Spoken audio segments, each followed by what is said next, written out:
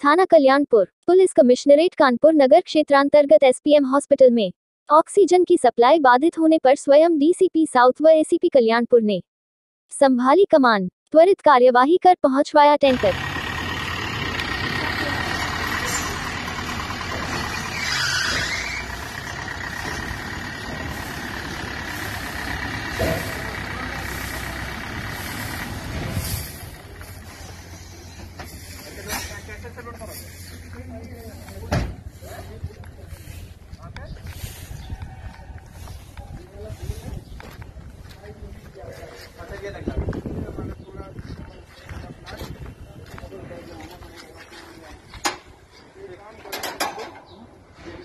மூளை